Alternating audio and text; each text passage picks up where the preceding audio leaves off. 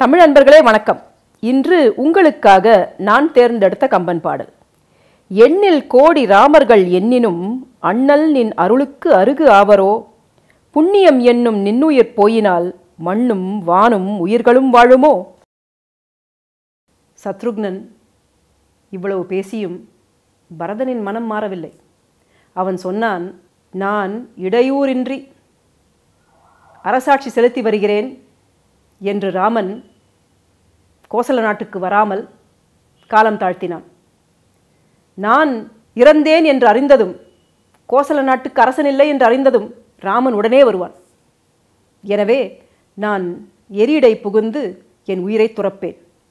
நீ அக்னிகூடத்தை அமைத்துத் தா என்று சத்ருகனுக்கு கட்டளையிட்டான். பரதன் தீக்குளிக்கப் போகிறான் என்று அறிந்ததும் அயோத்தியிலிருந்து கோசலை நந்தியம்பதிக்கு ஓடி வந்தாள். சேனை தலைவர்கள் அமைச்சர்கள் நகர்வாழ் மக்கள் அத்தனை பேரும் இரு கையையும் தலைமையில் சுமந்து அவளை பின்தொடர்ந்து வந்தார்கள். பரம்பொருளின் தாயல்லவா? தேவர்கள் அவளை கையெடுத்து தொழுதபடியே அவளை பின்தொடர்ந்து வந்தார்கள். தேவ மகளிர் இவள் அல்லலுற்றாளே என்று அவர்களும் அழுது ஓலமிட்டு கொண்டு வந்தார்கள். கோசலை வந்ததும் பரதன் அவளிடம் விரைந்து சென்று அவன் அவள் காலில் விழுந்து அவளை தொழுது வணங்கினான். கோசலை சொன்னாள் மகனே பரதா நீ உயிர் துறந்தாள். அனைத்து உயிரினங்களும் இந்த உலகத்தில் இருக்கும் அனைத்து உயிரினங்களும் இறந்துவிடும். மண் இழைத்ததும் மைந்தன் ராமன் இழைத்ததும் முன் இழைத்த விதியின் முயற்சியால் என்று நான் கருதினேன். மன்னனை இழந்ததும் மகன் ராமனை இழந்ததும் நான் முன் செய்த வினையால் விளைந்தது என்று கருதினேன். இப்பொழுது பதினான்கு ஆண்டுகள் முடிந்ததும் ராமன் வரவில்லை. இதற்கும் விதிதான் காரணம் என்பதை உணராமல் நீ உன் உயிரை துறப்பேன் என்கிறாயே. பரதா நீ உயிர் துறந்தால் அயோத்தியில் வாழும் அத்தனை மக்களும் நெருப்பில் வீழ்ந்து உயிர் துறப்பார்கள். நம் படை எரியடை புகுவர் தர்மதேவதை. அவளும் எரியடை புகுவாள். அதற்கு பிறகு நாங்கள் தாயர் மூவர் உயிரோடும் வாழ்வோம் என்று கருதுகிறாயா? நாங்களும் உயிர் வாழ மாட்டோம். இந்த உலகமே நிலைதிரிந்து போகும். பரதா பரதா புண்ணியம் என்னும் நின்னுயிர் போயினால் மண்ணும் வானும் உயிர்களும் வாழுமோ என்றாள். எண்ணில் கோடி ராமர்கள் எனினும் அண்ணல் நின் அருளுக்கு அருகு ஆவரோ? ஒரு கோடி ராமர்கள் உனக்கு நிகராக மாட்டார்களடா என்றாள். ராமனின் தாய் கைகேயின் மகன் பரதனை பற்றி சொன்னாள்.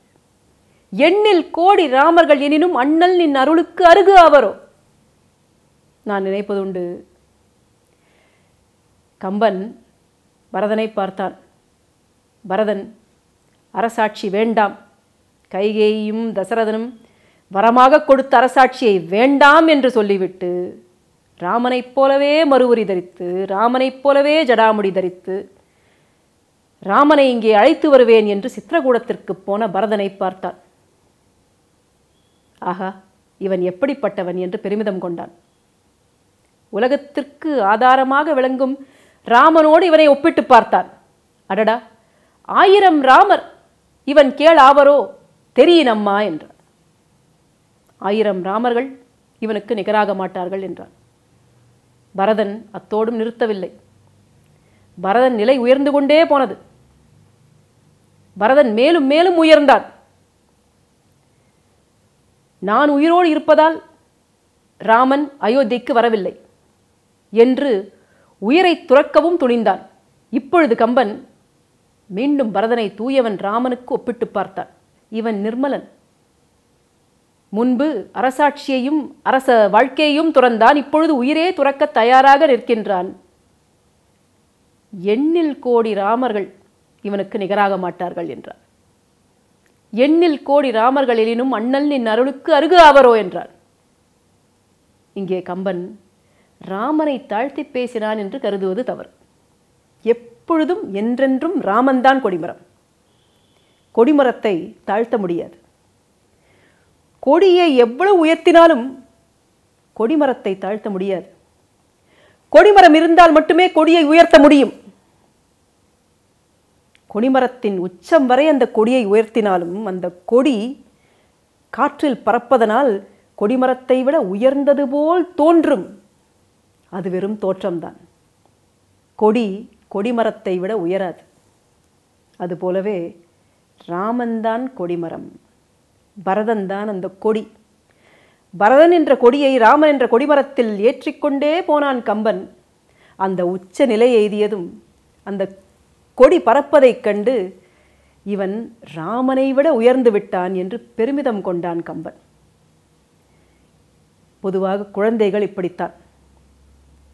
பள்ளிக்கூடத்தில் முதன்முறையாக ஒரு பரிசு கிடைக்கும் பொழுது யாராவது ஒரு பத்து ரூபாய் சாக்லேட்டை கொடுக்கும் பொழுது அந்த குழந்தை வீட்டுக்கு வந்து சொல்லும் அம்மாவிடம் சொல்லும் எனக்கு ஒரு பெரிய சாக்லேட்டை பரிசாக கொடுத்தார்கள் என்று. அந்த குழந்தை சாக்லேட்டின் சுவையை மிகைப்படுத்தி சொல்வதாக கருதக்கூடாது. அந்த குழந்தை தனக்கு கிடைத்த பெருமையை மிகைப்படுத்தி சொல்கிறது.